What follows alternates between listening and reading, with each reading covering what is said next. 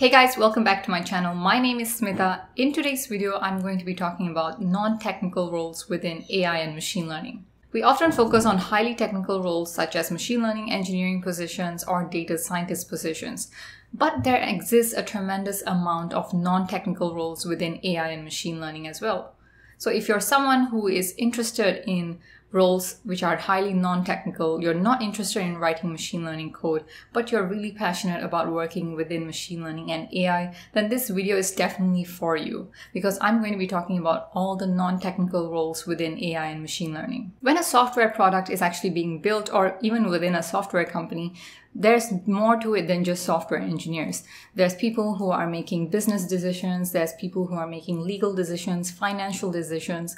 Uh, there's product support. So all of these are also key players to make the product actually exist and to make it run well. So this is also true for when it comes to AI products or machine learning based services. We also require this entire ecosystem of different roles, which are extremely important. So to understand the different types of non-technical roles within AI and machine learning, we have to look at the machine learning and AI product lifecycle. Now, this actually slightly differs from a software development lifecycle. Hence, we have very different non-technical roles available. So this AI and ML product lifecycle that I've created actually involves the different types of roles and the different types of people which are involved when an AI product is actually being made. So as you guys can see, there's actually nine different, uh, very important roles involved.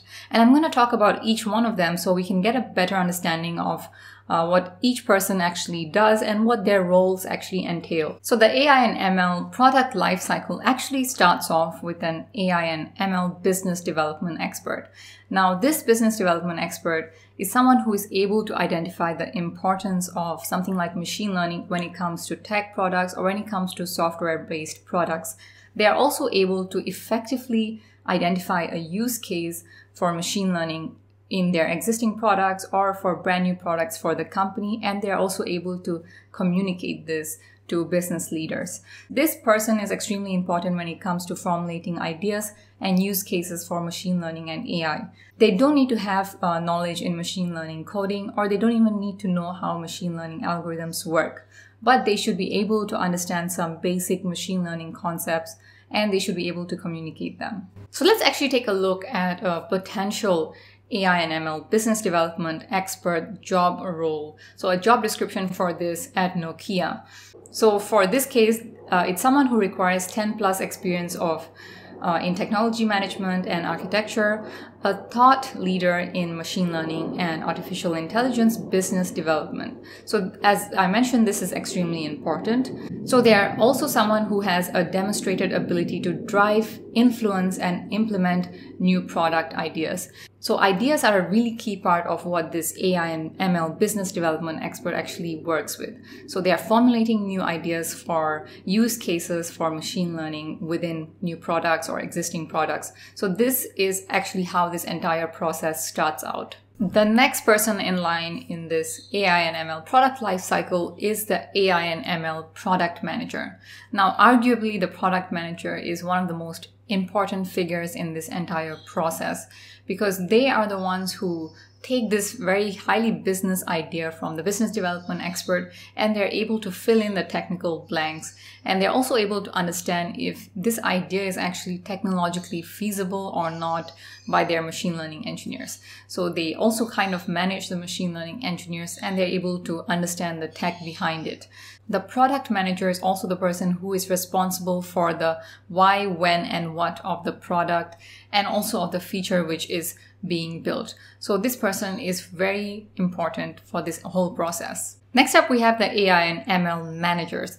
Now, this is also a very important role. The AI and ML manager is actually someone who lays the framework for both the machine learning and engineering aspects of the project.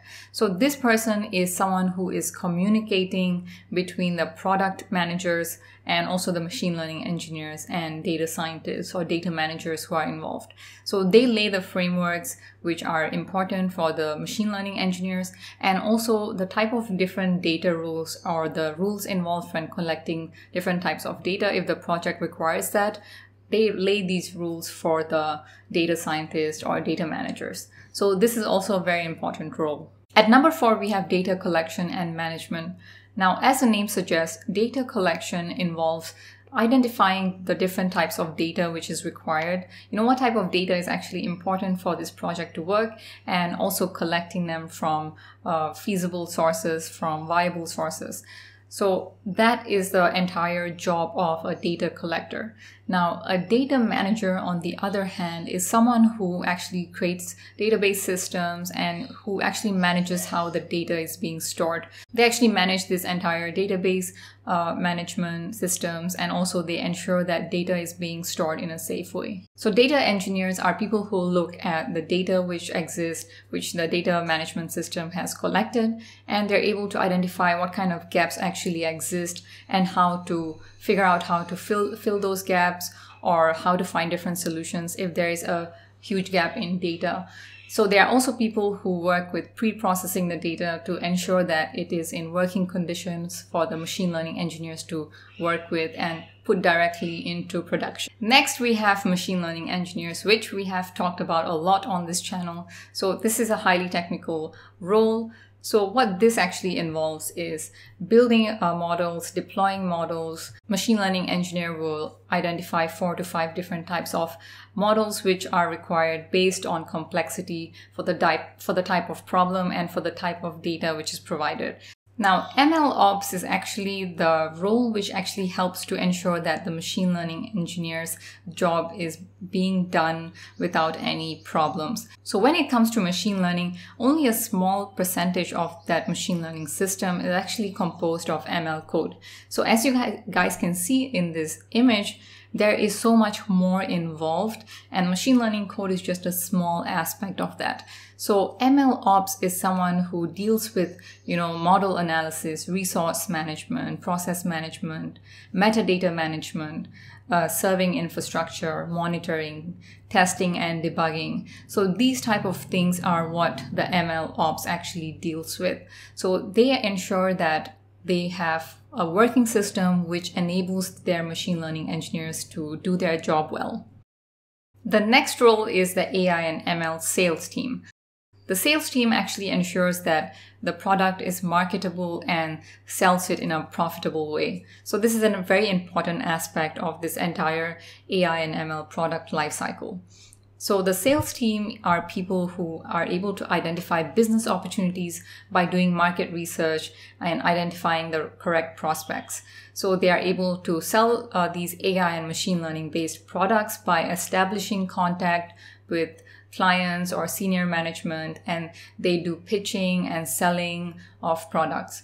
They prepare reports by collecting and analyzing uh, the type of sales data which is in, involved so this is a very important aspect and it's definitely a key because this is how the whole company is able to remain profitable. So at the end of the AI and ML product lifecycle, we have the AI and ML product support team.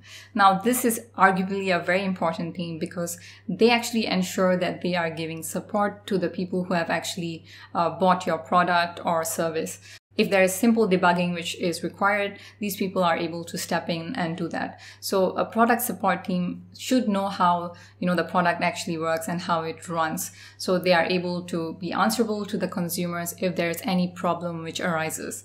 So guys, as you can see from this AI and ML product lifecycle that I've created, there is a tremendous amount of roles which exist, which are non-technical within AI and machine learning. In fact, data scientists and machine learning engineering roles, which are technical, are a small percentage of what AI and machine learning products are actually going to be about. So there's a lot of opportunities for non-technical people as well.